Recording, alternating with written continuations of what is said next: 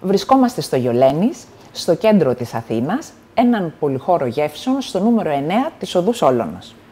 Το Γιολένης άνοιξε το 2016, πριν ένα χρόνο, και είναι ένας παράδεισος ελληνικής γαστρονομικής εμπειρίας. Η αλήθεια είναι όμως ότι σαν project ξεκίνησε το 2013 από το διαδίκτυο σαν ένα ηλεκτρονικό delicatessen ελληνικών προϊόντων. Μαζί μου βρίσκεται ο Γιάννης Γεωργιάδης, υπεύθυνος marketing του Γιολένης, με τον οποίο θα έχουμε μία κουβέντα για όλα όσα συνθέτουν τον πολυχώρο αυτό. Θα μας ξεναγήσεις Γιάννη στον πολυχώρο και θα μας πεις ποιοι είναι, ευχαριστούμε, ποιοι είναι οι βασικοί άξονες που συνθέτουν ένα πολυκάναλο σχήμα που από ό,τι μάθαμε είναι έτοιμο να επεκταθεί και στο εξωτερικό. Βεβαίως. Και μάλιστα πολύ σύντομα. Ποιο ήταν το concept πίσω από το Yoleni's. Η βασική ιδέα που στηρίξαμε το project της Yoleni's ήταν η εξής απλή. Να συγκεντρώσουμε επιλεγμένα προϊόντα από όλη την Ελλάδα. Προϊόντα τα οποία θα μπορούν να φέρουν τις κατάλληλες επιστοποιήσεις, ώστε να μπορούν να ταξιδεύουν μέσω του ηλεκτρονικού καταστήματος αρχικά, αλλά και από εκεί και πέρα θα φέρουν στοιχεία όπως είναι η παραδοσιακή συνταγή υλοποίησης του προϊόντος, μια ιστορία για το προϊόν, η οποία περιγράφει και το αφήγημα του παραγωγού και της ίδιας της περιοχής. Έτσι, καταφέραμε να συγκεντρώσουμε το 2013 περίπου 800 προϊόντα για αρχή, στα οποία δημιουργήσαμε πρωτογενές περιεχόμενο μόνοι μας, με τη δική μας ομάδα και τα φορτώσαμε σε ένα site το οποίο δεν λειτουργήσε άμεσα ως ε, ηλεκτρονικό κατάστημα, αλλά ως πόρταλ. Πρώτα ο επισκέπτης μπορούσε να πάρει την απαιτούμενη πληροφορία με το, για το προϊόν, για το κάθε προϊόν, για τη συνταγή, για τον τόπο προέλευσης, για τον παραγωγό και μετέπειτα, εφόσον είχε πιστεί για την ορθότητα των στοιχείων και τη εικόνα που έβλεπε, να το αγοράσει.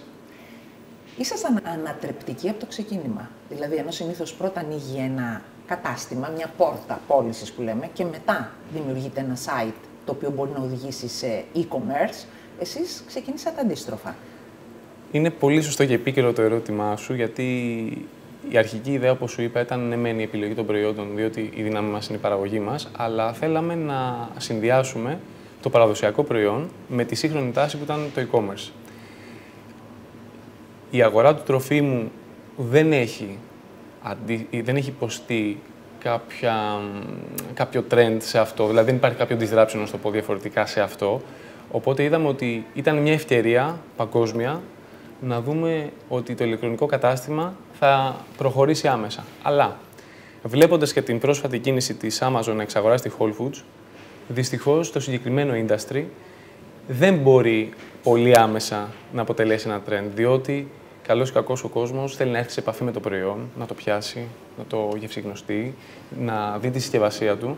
Οπότε γι' αυτό επισφέψαμε την λειτουργία και τη δημιουργία του πρώτου φυσικού καταστήματος, ώστε να μπορέσουμε ουσιαστικά να δημιουργήσουμε ένα πολύ καναλό σχήμα. Το Γιολένης λειτουργεί ένα χρόνο, στην οδό Σόλωνος 9. Βεβαίως. Ποιο είναι το feedback που είχατε από αυτή τη χρονιά λειτουργίας; Από την αρχή, από την πρώτη μέρα έναρξης και για πάρα πολύ καιρό ε, προσπαθήσαμε κι εμείς να καταλάβουμε την έννοια του retail, διότι είναι μια διαφορετική αγορά, έχοντας όμως ως γνώμονα την σωστή εμπειρία του επισκέπτη. Ο φιλεξενούμενος μας εδώ θέλουμε να έχει από την είσοδό του μέχρι και την έξοδό του μία ενιαία εμπειρία. Είτε γιατί θα έρθει να δοκιμάσει την πρόταση από τον κατάλογό μας, είτε γιατί θα έρθει να πάρει τα βασικά προϊόντα του, είτε γιατί θα έρθει να κάνει ένα δώρο, είτε γιατί θα συμμετέχει σε μια βιωματική εμπειρία.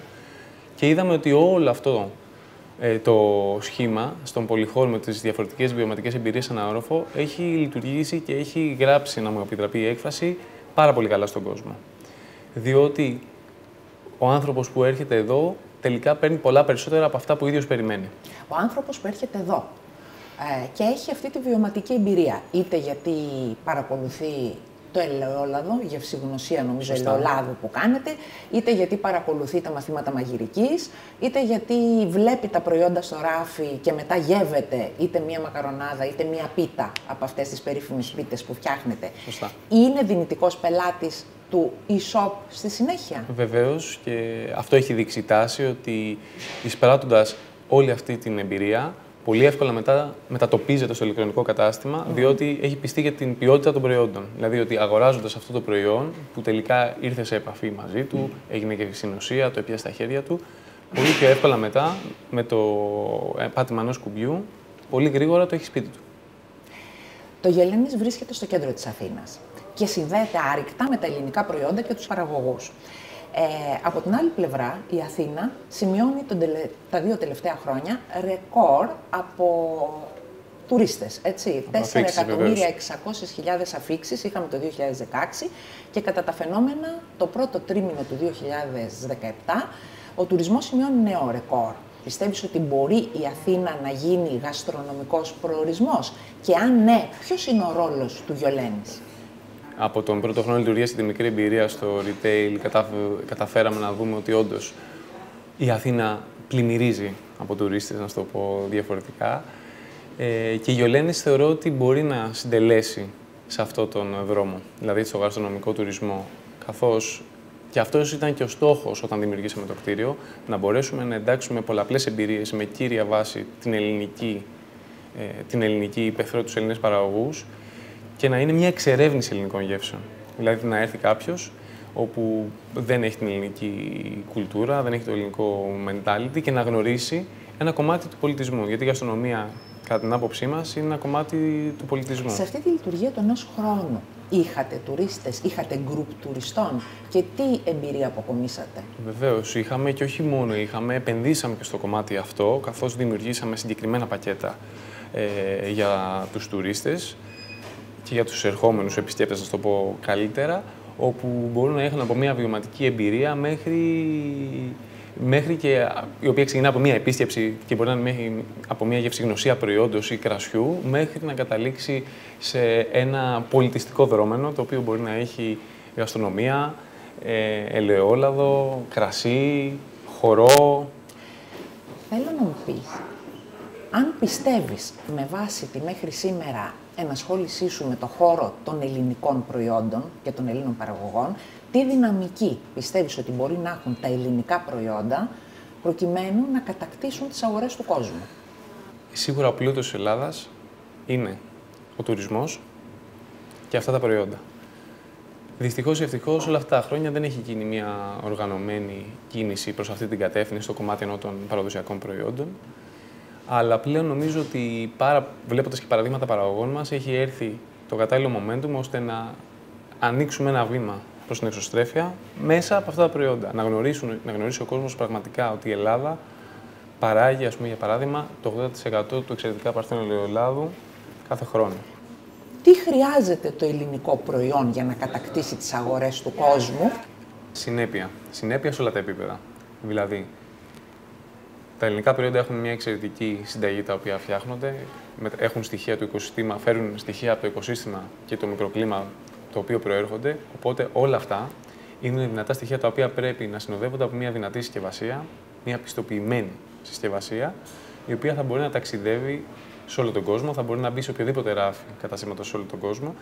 Και είμαι ιδιαίτερα χαρούμενος επειδή από το 2013 έχουμε δει αρκετές προσπάθειες παραγωγών ότι οι Έλληνες παραγωγοί προσανατολίζονται πλέον και προς το κομμάτι της αισθητικής, της πιστοποίησης και της συνέπειας στην παραγωγή. Δηλαδή ότι τα προϊόντα παράγονται από την αρχή μέχρι το τέλος με τον ίδιο τρόπο, έχουν την ίδια γεύση και, και πληρούν όλες αυτές τις προποθέσει που είπαμε και πριν. Οπότε θα δεις επιτυχημένα παραδείγματα παραγωγών που υπάρχουν στο Γιολένη, αλλά υπάρχουν και σε άλλα ε, φυσικά καταστήματα και μπουτίκ σε όλο τον κόσμο. Το Γιολένης άλλαξε φέτος. Ναι. Θα μπορούσες να μας πεις τι διαφοροποιεί το Γιολένης του 2017 από το Γιολένης του 2016. Στα πλαίσια λοιπόν της συνεχούς βελτίωσης της εμπειρίας για τον φιλοξενούμενο της Γιολένης, αποφασίσαμε να αναδιαμορφώσουμε κάποιους χώρους, κάνοντας πιο εύκολη την ε, εμπειρία κατά την επίσκεψη του ανθρώπου στο χώρο. Δηλαδή, ανεβάσαμε τα προϊόντα από το μείον 1 στο ισόγειο, δημιουργήσαμε κάβα στον χώρο στον οποίο βρισκόμαστε αυτή τη στιγμή στο μείον 1 ναι. Και αναδιαμορφώσαμε την αυλή μας κάνοντας ένα μικρό μπιστρό ελληνικών γεύσεων με δημιουργική και ελληνική κουζίνα. Ήδη από τους ε, δύο μήνες που έχουμε ξεκινήσει μετά την αναδιαμόρφωση, βλέπουμε ότι τα αποτελέσματα είναι καλύτερα, η εμπειρία είναι καλύτερη και αυτό ισχύει όχι μόνο για τους εγχώριους επισκέπτες, αλλά και για τους ε, επισκέπτες που έρχονται από το εξωτερικό, που άμεσα έχουν επαφή με ένα πολυχώρο εξερεύνηση ελληνικών γεύσεων. Δηλαδή από την είσοδό τους μέχρι και την έξοδό τους εξερευνούν το κάθε κομμάτι. Και τώρα θέλω να μας αποκαλύψεις ποια είναι τα σχέδια επέκτασής σας στο εξωτερικό.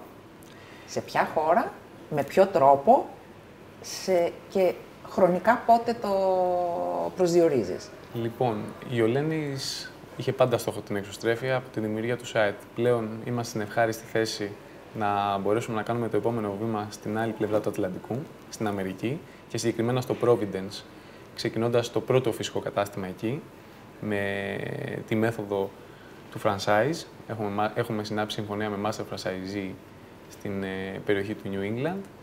Ουσιαστικά είναι το κατάστημα όπως το βλέπεις εδώ, με επιλεγμένα ελληνικά προϊόντα, με επιλεγμένη κουζίνα, η οποία φέρει στοιχεία από την ελληνική γαστρονομία και θα ξεκινήσει πάρα πολύ σύντομα. Και όταν λέω πολύ σύντομα, στο επόμενο δίμηνο, στα τέλη, μέχρι τα τέλη του 2000, ε, μέχρι τα τέλη, συγγνώμη, του Φεβρουαρίου. Του, του 2018. Το 2018, σωστά, συγγνώμη, μπερδεύτηκα. Ναι. Θα είμαστε έτοιμοι να ξεκινήσουμε το operation εκεί, τη λειτουργία του καταστήματος εκεί. Θα είναι το πρώτο μας βήμα. Θεωρούμε ότι η Αμερική είναι ένα πολύ σημαντικό και πρώτο βήμα που κάνουμε, στρατηγική σημασίας για εμάς.